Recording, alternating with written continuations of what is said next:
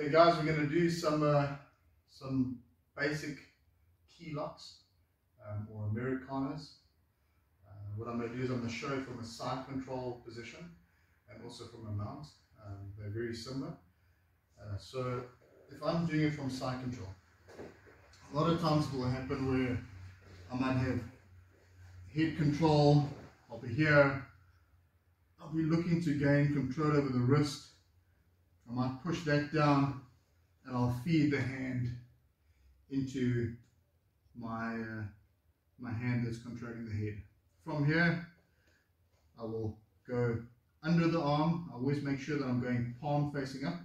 And the reason being is that it allows me to like pull my way through. So if I'm here and I go like this, I can pull my hand through until I get to the, to the Americana position. Uh, if I go this way, kind of get stuck, if, especially if he's fighting me here and the, the arm's being driven to the mat. Whereas if I go like this, I can always generally find a way through. Okay, I'll get to there. I like to drive my weight over here now. So I'm like driving my weight towards his hand.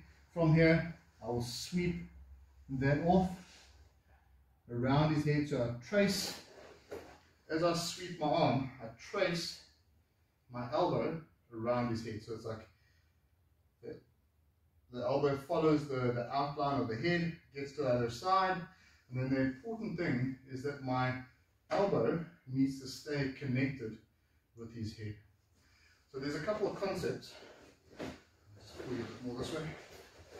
A couple of concepts when you're looking at joint locks is that you always need to be controlling the two joints opposite the joint that you're attacking. So in this instance, I'm attacking the shoulder, so I'm going to control his elbow um, with an indirect control on the wrist, and because that is bent. And then the way I control the next joint this way, which is actually the spinal column, is with my elbow against his head. Okay, so I'll lock that into position. So again, I'm here, I thread that through, catch, hand comes under. So the grip that I'm getting is this grip. So my hand comes like this, palm up, walks around, goes over my wrist.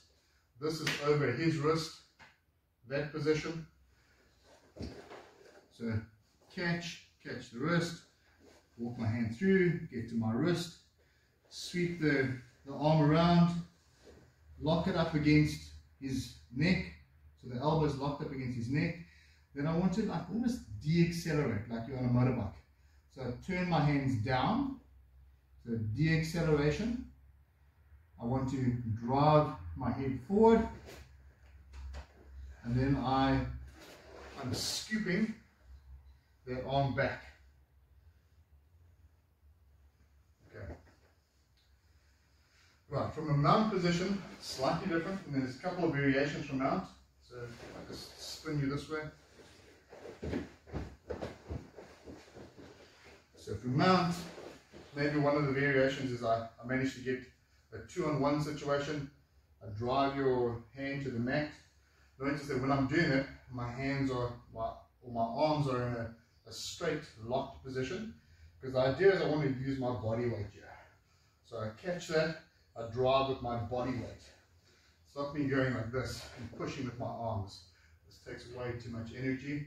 If my opponent's stronger than me, it's going to be a mission to, to get that arm into position. So I'm here, I drive it down. As soon as I get there, elbow drops next to the head. This hand shoots under, palm facing up, walks through, connects with my wrist. Generally what will happen is I'll have my hooks in or I'll have hidden hooks here. Um, so if Cam maybe bumps that way, I will hook with my leg to prevent myself from going that way. If he bumps the other way, I'll hook with the other leg and then I'll just finish it off. So de-acceleration with the hands, and then use these fingers like a paintbrush. I paint straight down, my head comes down, start curling up, and then we bring on the tap. Okay, so that's that variation.